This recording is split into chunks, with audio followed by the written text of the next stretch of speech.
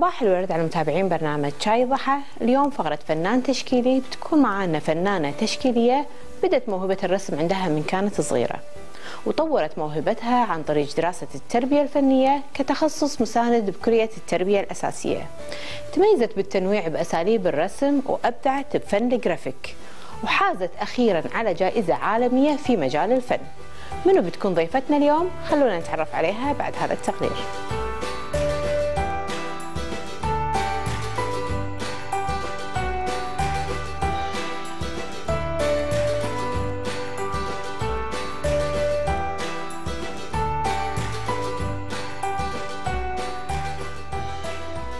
رجعنا لكم متابعينا من بعد هذا التقرير ونرحب ضيفتنا الفنانة التشكيلية عطارد الثاجب. يا هلا ومرحبا فيك يا هلا وسهلا فيك.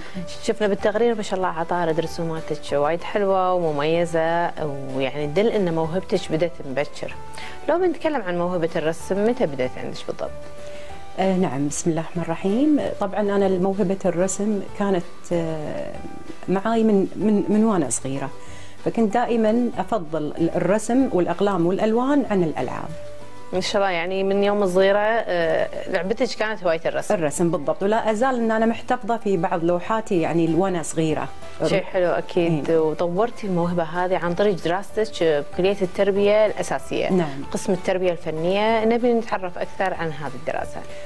طبعا آه، كان في خاطري إنه يعني وايد أنا قريبة من الرسم وأحب الرسم والفن ودائما كنت أتابع اللوحات دائما كنت آه يعني أتابع خصوصا الفنانين. آه من هذه اللحظة بالثانوية فكرت إن في تخصص آه فني فكنت جدا حابة إني أكمل هذا التخصص وبالفعل الحمد لله الله وفقني. وكملت هذا التخصص وعطاني طبعا خبرة كبيرة في تعديل الرسم وأفكار الرسم وطريقة الرسم. آه، على طاري أفكار الرسم آه، أغلب الفنانين التشكيليين تلقيهم شوي بالزيتي شوي بالأكريليك آه، نعم. عندهم أنواع معينة من الرسم لو بني حق عطارد شنو أنواع الرسم اللي تفضلينها واللي تحسين انها هي أقرب شيء لقلبك؟ آه والله في البداية غير كل فنان بداياته تكون غير عقب ما آه، على مرور الزمن آه، تكون مراحل الفنان يعني من مرحلة إلى مرحلة. ببداياتي كانت رس كان رسم آه، طبيعة صامتة طبيعي. بعدين لا يعني دائما الرسم يعني لازم أمور الدنيا كل أشياء صحيح. تكون جديدة تتجدد. فكذلك الرسم يعني قمت أجدد. حلو إن الفنان يتابع المعارض والرسامين الخارجيين ويشوف يعني وين وصل الفن ويطور من موهبته وفنه.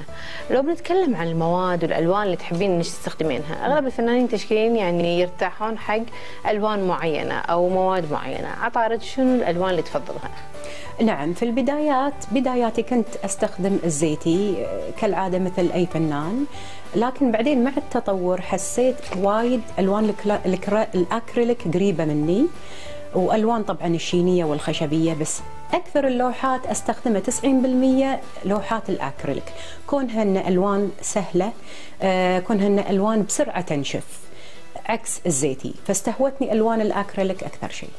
لو بنتكلم عن الجرافيك نعم. تميزتي بفن الجرافيك وقلة قليلة اللي ممكن يتميزون بهالنوع من نعم. الفنون ويمكن وايد ناس آه، ما يعرفون شنو الجرافيك نعم. نبي نبذة عنه وشرح بسيط حقه نعم.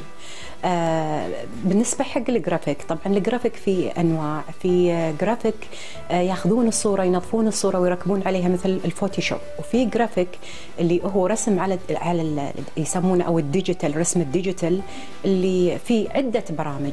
آه دخلت في هالمجال حبيت أشوف طريقة سلاسة الرسم وطريقة الرسم في الكمبيوتر. أعطاني خبرة جديدة غير عن الرسم الطبيعي باليد.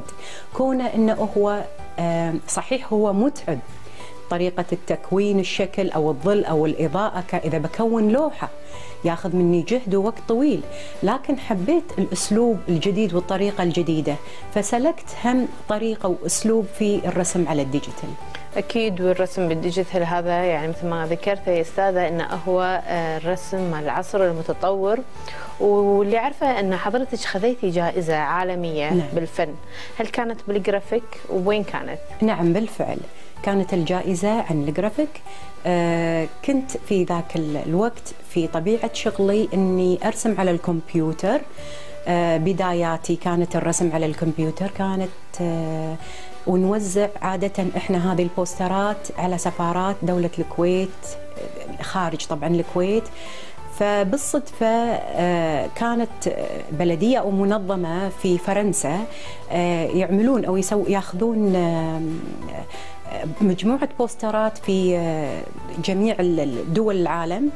فسبحان الله بالصدفة فازت اللوحة الديجيتال آه، في آه، المركز الأول كانت في فرنسا سنة 2005 في مدينة شولي. ما شاء الله شيء حلو إن كونك فنانة تشكيلية كويتية أخذتي جائزه عالمية بفرنسا وأكيد كان لك مشاركات بمعارض سواء داخل أو خارج الكويت. لو بنتعرف أكثر على هذه المعارض. نعم بالفعل. آه عندي معارض طبعا أشارك فيها سنوية مستمرة داخل الكويت. كوني إن أنا عضوة في جمعية الفنون التشكيلية وتعتبر آه جمعية الفنون التشكيلية من أنشط الجمعيات الف... أنشط الجمعيات الفنية اللي موجودة في الكويت في نشاطاتها في المسابقات في المعارض اللي يسمو... يسوونها. فأنا جدا يعني آه، آه، مهتمة أني أشارك فيها في كل سنة.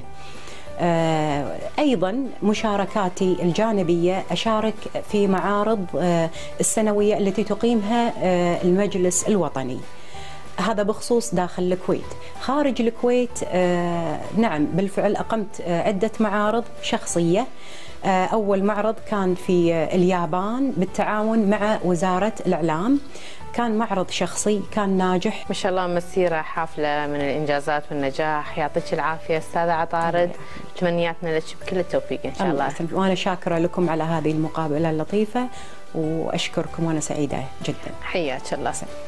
كل الشكر ضيفتنا الفنانة التشكيلية عطارد الثاجب. تابعونا الأسبوع الجاي مع موهبة جديدة فقرة فنان تشكيلي.